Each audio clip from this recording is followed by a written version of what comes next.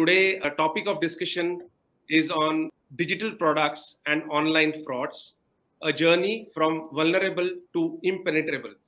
While we were selecting this uh, topic of discussions, uh, we we had uh, several other trending topics to be to be considered, like uh, AI was there. Then we had Chat GPT, CBDC, inflation, embedded finance, and few more.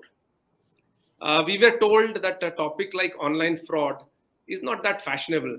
Uh, why don't you select a topic which is attracting a lot of media attention or chasing or a topic which is chasing a lot of VCP money?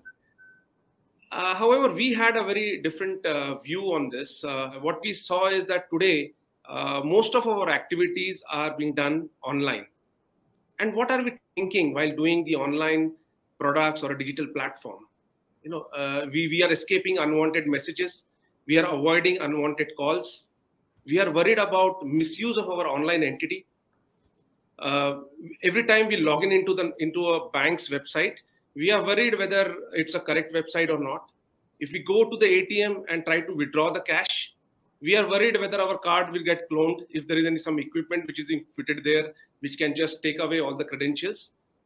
If we get a friend request, we are worried whether it is a honey trap. And when we get any delivery of any any courier which is coming in and he asks for a OTP, we are worried whether it is a, request money kind of OTP. And there are several other concerns which keep coming to us uh, uh, every day. So undoubtedly, the topic of uh, discussion today uh, that uh, a journey from vulnerable to impenetrable for digital products and online fraud is a right topic and and the, the, and the and the very we have a today a very powerful panel.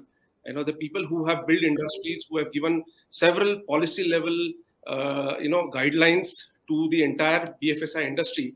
And their views would be very very valuable to us. In fact i would say that this topic should be discussed in each and every forum globally you know to make the the digital transactions safe now uh, the, today the questions that we are going to ask are the questions that were discussed uh, in the FIAKS community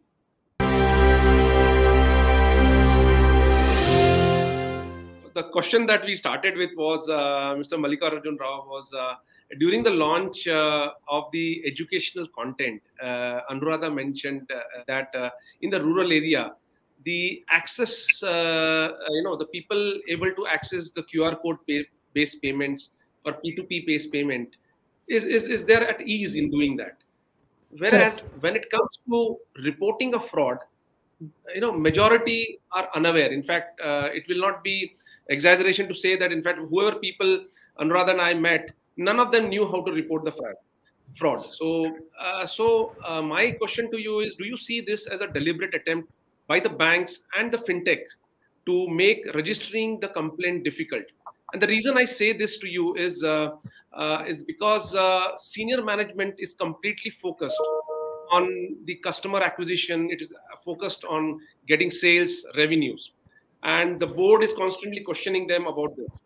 So they spending time on all these is not a productive thing. So do you see a possibility of uh, of regulatory authorities playing a role here where they can bring the attention of the senior management back on these important issues by publishing industry wide fraud analysis or reports of various various digital products that are launched by banks and fintechs. And and uh, you know and also creating a platform to celebrate the zero fraud products of the product managers of this institution. So uh, this was a question that uh, was uh, there in the community and we look forward to your views on it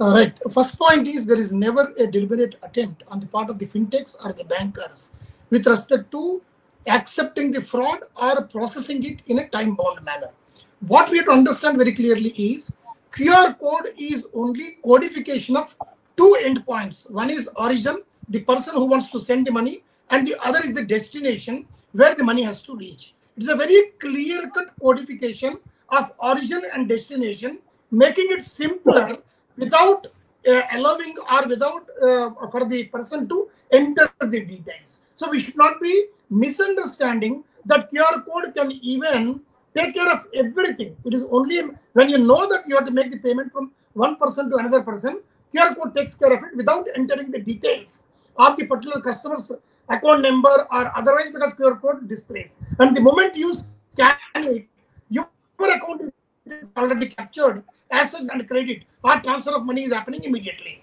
With respect to fraud, it is not as easy as we can understand QR code. Number one, as rightly pointed out by Mr. Sambamurthy, there are a lot of frauds occurring, particularly with the compromise of identity of the customer. Unknowingly, he's not aware that he is compromising on the identity. As a result, the moment identity is compromised, the fraud is perpetrated. After it is perpetrated, and by the time he realizes, the money gets transferred through various layers and it is withdrawn.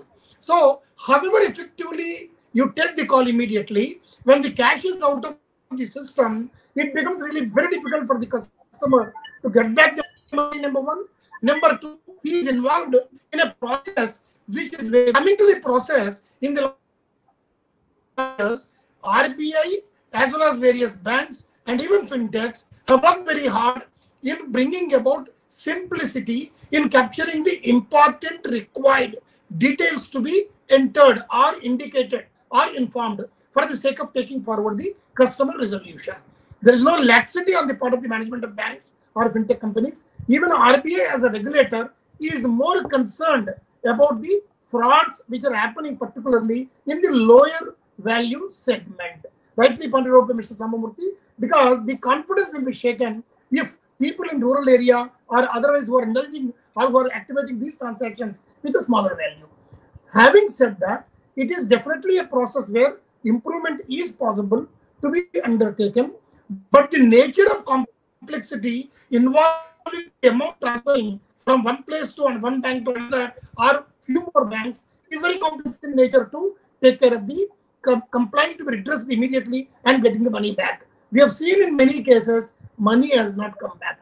Very few cases the money comes back to the customer only because he is able to comply in right time and the amount has not got out of the system and the lien marking is done through the different banks and accordingly money has come back even though it has taken a couple of days. So what is the remedy for this? Remedy is number one, awareness. There should not be any way the customer compromises on identity or clicks on unknown areas or reacts to unrequired uh, what you call uh, unrequired there is no requirement for him but unnecessarily is clicking on that or reacting to that this awareness is required to be uh, what you call spread across among all the users second is the measures taken by the regulator measures taken by the stakeholders like banks and fintech companies need to be little more pronounced little more activated in such a way that customer is able to get the reply without he going across various locations or various authorities to get the reply. So these are the two measures. I'm sure the work is in progress,